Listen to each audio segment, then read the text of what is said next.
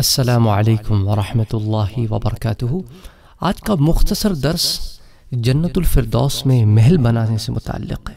यानी जन्नतुलफ़िरदौस में महल बनाने का ये अमल करने का क्या मतलब है कि भाई जन्नतुलफ़िरदौस में जाओगे तो ये महल मिलेगा ना? और अमल क्या है? हुजूर अकरम सल्लल्लाहु अलैहि वसल्लम का फरमान मुबारक है कि जो सुबह की नमाज़ जमात से अदा करे, फिर वहीं बैठा रहे और तुलु आफ्ताब तक अल्लाह अज्जा के ज़िक्र में मशगूल रहे। तो अल्लाह अज्जा उसके लिए सबसे आला जन्नत, यानी जन्नतुल फिरदौस में महल बनाएगा। और बाज़ रिवायात में ये अल्फाज आते हैं कि सत्तर महल बनाएगा और हर महल में सोने और चांदी के सत्तर दरवाजे होंगे।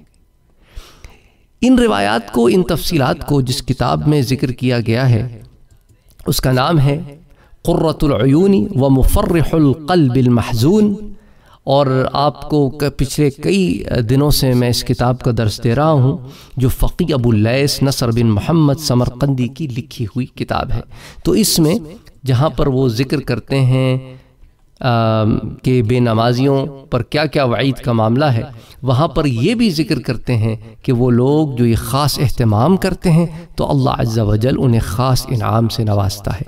अल्लाह ताला से दुआ है कि अल्लाह ताला हमें ज़्यादा से ज़्यादा नेक आमाल करने की तोफ़ी अता फ़रमाए और हमें उन लोगों में शामिल करे कि जो फ़जर की नमाज़ अदा करने के बाद अल्लाह के ज़िक्र में मशगूल रहते हैं, कुरान पढ़ें, कोई और ज़िक्र करें, यहाँ तक कि सूरज तुलू हो जाए।